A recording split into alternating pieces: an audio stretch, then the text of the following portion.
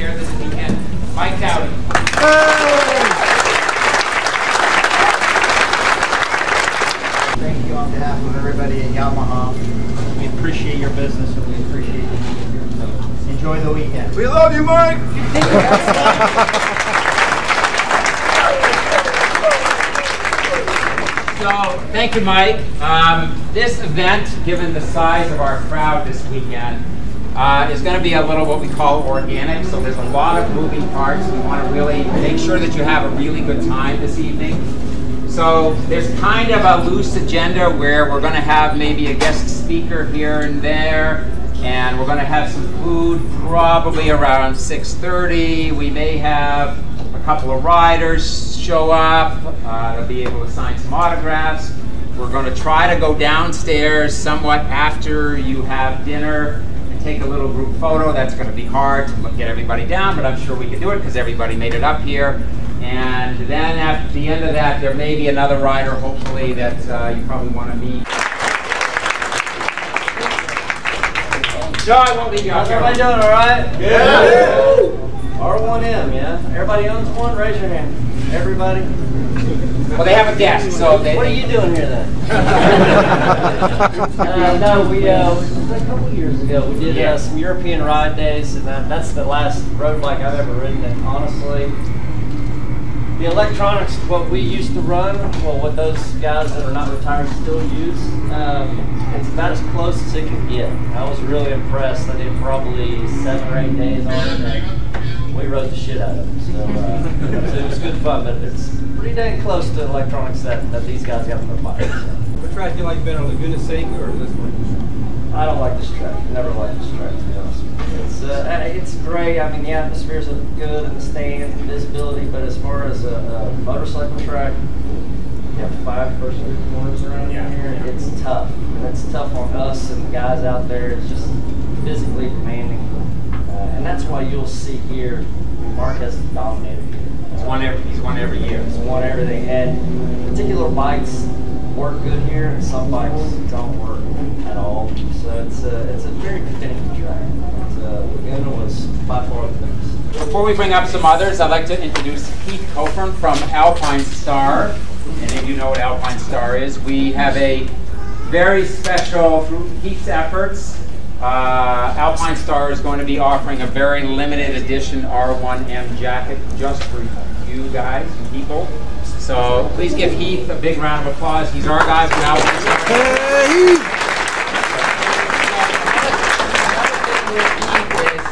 He is, well, you all have R1M, so you're all super enthusiasts. Heath is another super enthusiast, so he's great to have on board and great, he's a great ally for us at Yamaha. So Heath, show him your jacket. Thank you, Bob. And there's some reflective elements on the back, so if anyone rides at night, there's a little bit of reflectivity on the back. It's all about being comfortable and perforated. And the inside is really nice. It has a liner that comes out, so when it's colder in the mornings, you keep the liner in. When it gets warmer, you just take the liner out. It breathes amazing, so it's really nice on a hot day like today. Very versatile, really cool offering for you guys. Cool, okay? Thank you. Heath Copeland from Alpine Star. Thanks, Heath. Thank you. A beautiful jacket, man. I'd like to bring up the uh, crew chief for Johann Zarco, who was top Yamaha qual- uh, in position two today in, in qualifying two, not qualifying two, free practice two, Mr. Guy Coulon. Give him a big round of applause. Hey.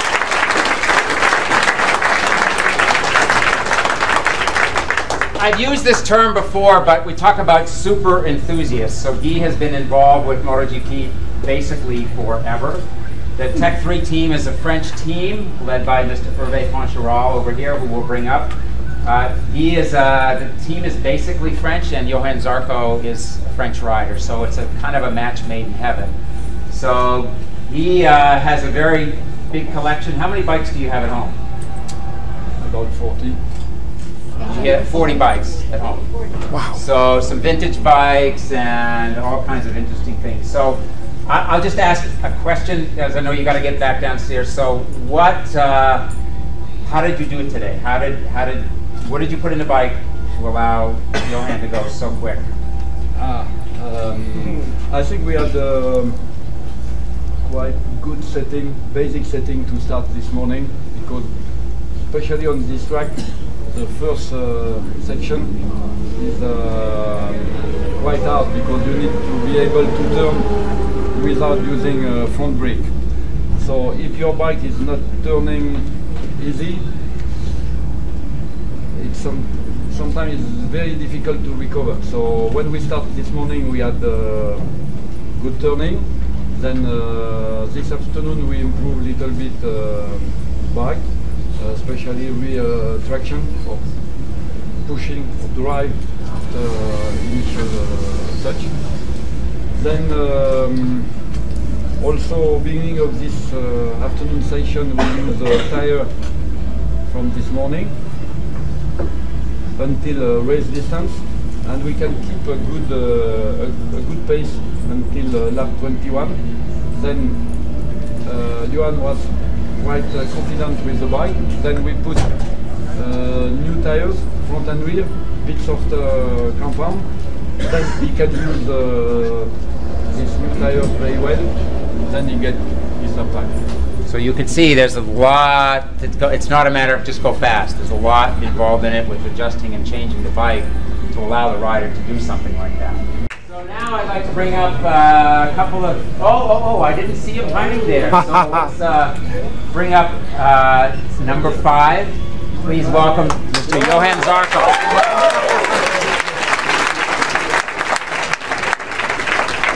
So we have a big crowd, so you have to as loud as you can. So uh, you did okay today. Very much. So can so how did you do? But really, just enjoy uh, here in Texas. Uh, I didn't expect to be in second position because Marquez is so strong here, so I can almost think that I'm, I'm first. because uh, he is over game. But uh, no, uh, the target was to work well for try to prepare the race because anyway we are pushing all the weekend, but the, the main point is the race on Sunday. And finally, after doing many laps and good work with the team, it was time to to improve the lap time, and uh, and I did it. So I think it's just a perfect situation for me at the moment, and uh, I'm still learning, and it's necessary to take the time and overall enjoy because over 300 k's, if you don't enjoy, uh, it become dangerous. That's why uh, I love the Yamaha bike. I can say Yamaha here, I think. But now um, it's a nice bike to ride and um, also here, difficult track. Uh, you can, if you go to Clinica Mobile, all riders are so tired, but it's the this circuit that asks you so much energy. It means that if you if you feel good, you you can do it well.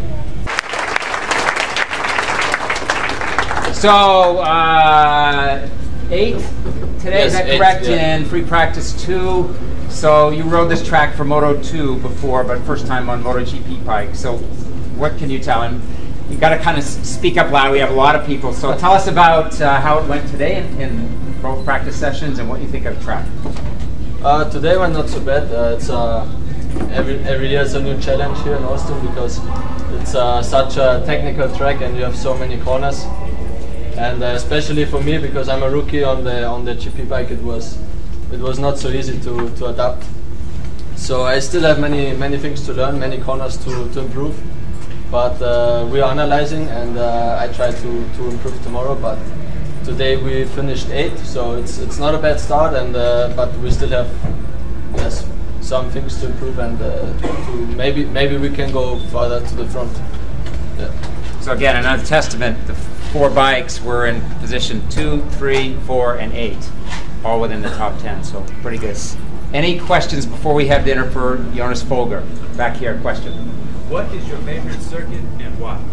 What is your favorite circuit and why is the question? I have many favorites because I love riding the bike. So um, I really like this track because it's, uh, as, I, as I said, it's a challenge because it's so different to the, to the rest of the calendar that we have. And uh, but also I, I, I love uh, Phillip Island. It's uh, such a nice track. It's very fast, and uh, the place where it is, it's it's, it's really nice. Uh, you think you are on holidays, you know. it's uh, such a, a, a nice country there. And um, yes, also Sepang I, I really like. It's very very smooth, very floaty, and um, it's I enjoy riding there. So folks are in line for their. Hey man, how you doing, man? Hey, good seeing you. Hey, big guy. Guys are in line for their meals here for the R1M Owners Appreciation Weekend here at MotoGP, Circuit of the Americas, and yet again Yamaha has pleased us with some awesome, awesome food. And since this year there's about three times as many people as before, I think they have a lot of food for everybody. Look at that. hey man, you know the term, huh? Nice. Question back here. Uh, all through the preseason, you've been emphasizing your pace throughout the race. How do you manage that kind of maturity at your age? So how do you maintain pace? Your, your pace last race, almost every lap, within. Well, there, there is a work on the electronic and also on the bike. You know, normally like uh, today in FP2 we work so hard for the race. Indeed, that put new tire and try to be in the front. And you know, then in the race you take all the profit from that. You know, and you have to work for the race. And normally, uh, if you have a good bike, good setup, from lap one of the race to lap 20, you have to have two, three times maximum. That means that you did a good job. And normally now we are. Uh, doing that. You know, in Qatar I make my best lap time in the last lap, and in, in Argentina I was able to keep the pace. So we are working really hard as in FP2 to try to, you know, at least don't make the tire go down. Just keeping on the on the good grip. Question back here. Speak up. What makes you so much faster on the uh, Yamaha versus the Suzuki last year? What makes the bike so much better? All the areas is a, a little bit better, so it's a more um, stable bike for sure on the fast corner. But you have also a lot of grip on the rear, so you can make a good acceleration. For me, it's a bike that have a little bit more in all the areas, and uh, I can push more myself also because the bike permits me to go even faster. Also, the team have a lot of experience. They have many championships and many races that they win, so I can take a lot of profit. Also, I improve as a rider for that because I know now how to manage better the electronics and also how to planificate all the race. I'm, I'm just going to add to that, and I'll ask a little question. So I've seen this weekend, so after free practice one and two, your debrief after you get off the bike is very short, five, ten minutes, and then you're done. So what are you telling your technical crew in such a short amount of time?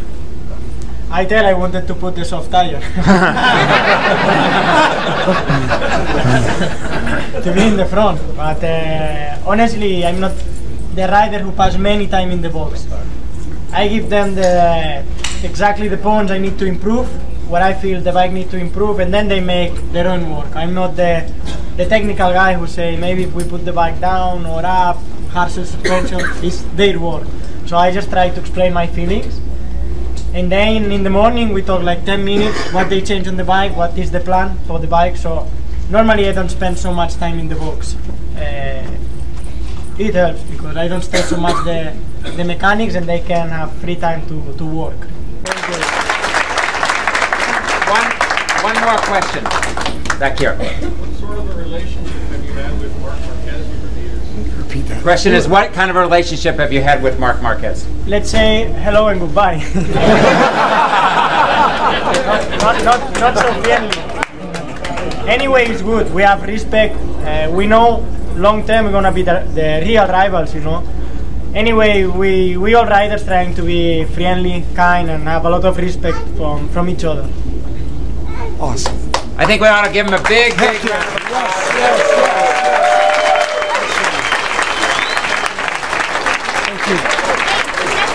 Autograph. will- So he's got it. I don't know if you can sign a few, but That's awesome.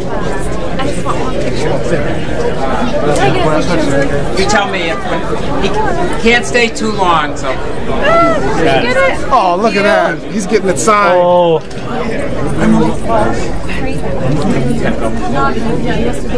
you find another one. I'll sign. all right, we have to we have to let him. He has to have to eat. Okay.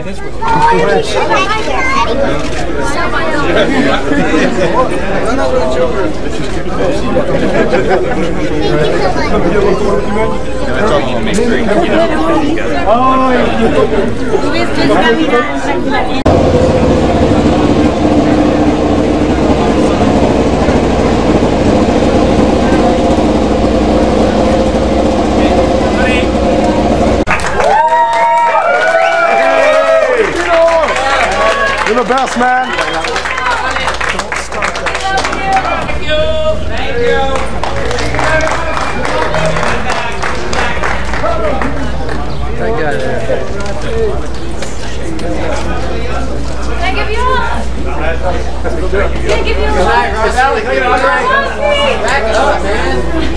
That wraps up yet another fantastic production from Yamaha with the R1M owners.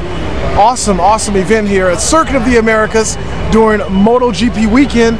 And Yamaha pleased us yet again and pulled out all the stops for the R1M owners. It was a great event. Everyone's very happy. The special guests that came on were absolutely ex- exciting and exceptional. Maverick came up, Rossi came out. We had a group picture. The food was great. It's race day here at MotoGP Austin, Texas, Circuit of the Americas. Very loud, lots of people. You never know who you're going to run into at MotoGP. We've got Billy Bean Moto, and she looks just as stunning in real life as she does in her videos. You do one of your dance moves from your videos? that is awesome. Totally awesome. All right. Nice meeting you too. Hey, how are you? Good, good. Do you want to enter to win or anything? I entered already. Hopefully I win. It's a Oh. beautiful bike. Yeah, yeah. See that, Steve? yeah. Yeah, the emblem has the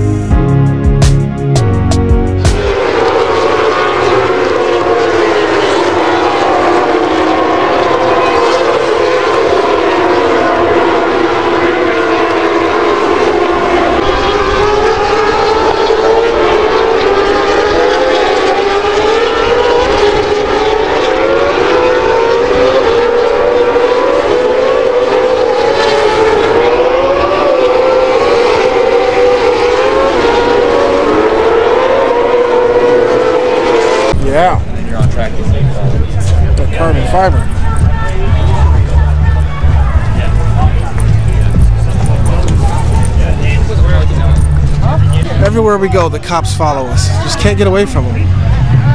And they're state trooper Harley Davidsons.